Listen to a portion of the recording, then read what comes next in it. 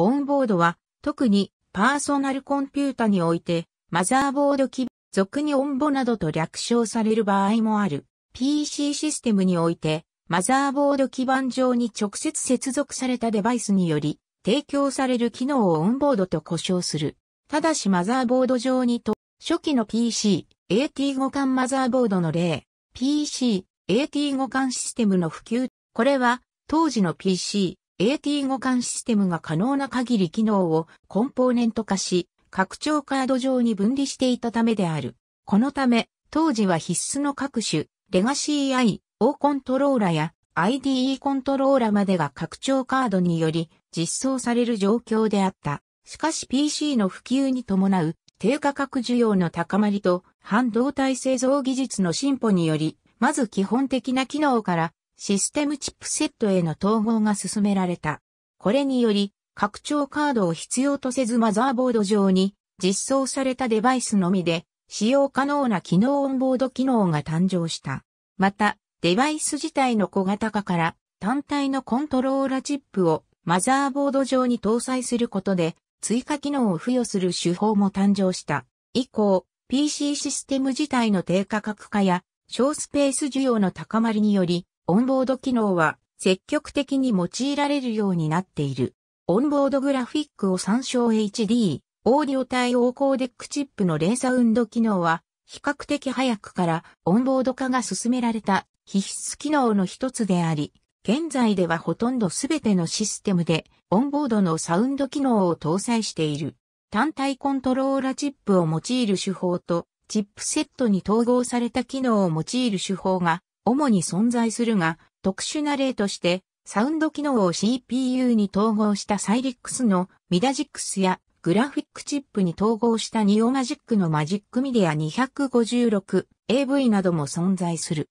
チップセット統合機能によるオンボードサウンド機能、編集オンボードサウンド機能の誕生当初は後述の単体のサウンドコントローラチップをマザーボード上に実装する手法が一般的であったが、1999年にインテルが発表したハブアーキテクチャで採用されたサウスブリッジ ICH では、オーディオコーデック97規格準拠のサウンドコントローラを統合していた。これにより、サウスブリッジと安価な AC97 コーデックチップだけでサウンド機能が実現できるようになり、以降はサウスブリッジにコーデックチップを組み合わせてサウンド機能を搭載するマザーボードが一般化した。インテルは2005年に AC97 の後継規格である HD オーディオを発表し、以降のオンボードサウンド機能は HD オーディオ準拠のものが一般的となっている。なお、一部では特にこの形式で搭載されているオンボードサウンド機能のみを指して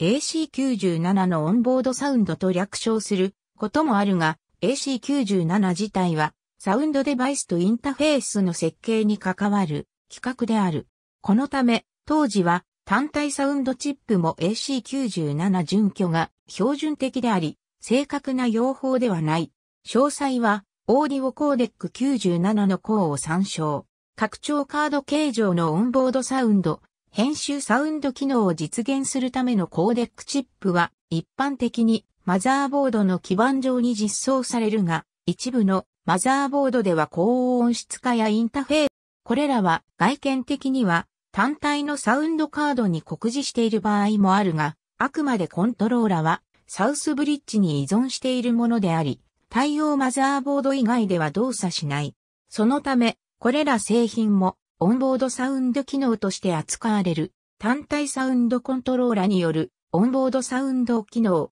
編集オンボード搭載のサウンドコントローラの例、左奥には AC97 コーデックチップも搭載する ISA または PCI により接続されるサウンドコントローラチップをマザーボード上に直接実装する形態のオンボードサウンドである。オンボードサウンド機能の発生当初はこの手法による実装が一般的であり、特に拡張カードの使用できないノートパソコンにおいては標準的に採用されていた。AC97 対応のサウスブリッジの普及以降、単体のサウンドチップを搭載するマザーボード製品は激減した。ただしパフォーマンス及び立体音響効果などの付加機能において、単体サウンドコントローラは統合サウンド機能よりも有利な製品も存在するため、単体のサウンドコントローラを搭載するマザーボード製品も未だに存在する。オンボード搭載の1000ベース、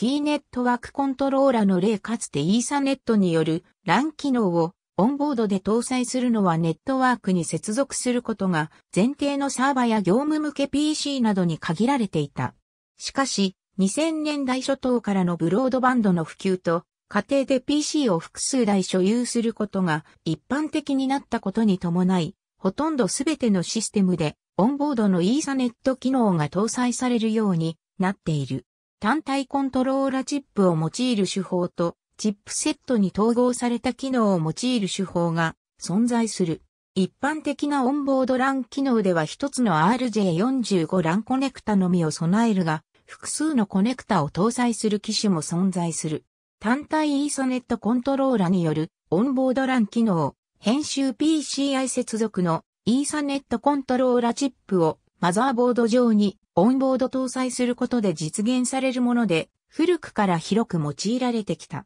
サーバなどの業務用システムでは、性能的に優れるインテルやサンコムなどの製品が主に採用されたが、一般向けシステムでもオンボードランが一般化して、以降はリエルテックなどの安価な製品も広く採用されるようになっている。チップセットとの接続には PCI、または PCI エクスプレスが使用されるのが一般的だが、センベース T の登場直後には十分な帯域と普及率を持つ適当な汎用バスが存在しなかったため、一部のインテルチップセットでは、草と故障する専用バスを用いて接続するものもあった。チップセット統合機能によるオンボードラン機能、編集サウスブリッジに追加。しかしリエルテックなどの提供する単体コントローラが十分に安価なことに加え、ソフトウェア処理のサウスブリッジ統合コントローラでは、高速なネットワーク処理の際の負荷が無視できないことも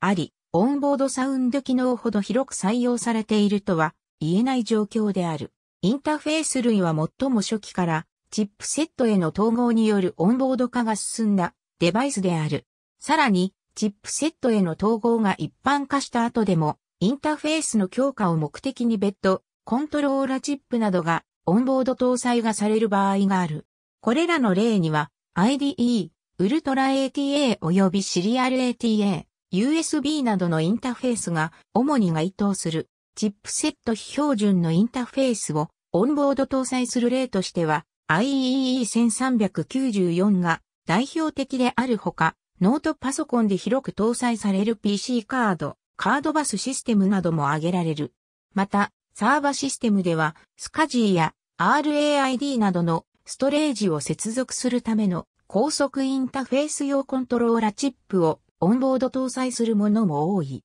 オンボード搭載された CPU の例 CPU のオンボード実装は特に実装スペースの節約が重視されるノートパソコンではごく一般的に採用されるほか、CPU 単体での交換を考慮する必要のない組み込み向きシステムなどでも採用されている。これらの場合は、ソケット用の PGA、または LGA パッケージではなく、ハンダ付けを前提としたブダパッケージの製品が主に用いられる。メインメモリのオンボード実装も一部のノートパソコンで採用されているほか、Windows Vista の登場に伴いレディブストやターボ、メモリなどの高速化技術に用いることを前提としたフラッシュメモリもオンボード搭載されるようになった。また CPU 用の2次、キャッシュメモリをスロットで搭載することが当然であった時代には、二次キャッシュをあらかじめオンボードで搭載する製品も多く存在した。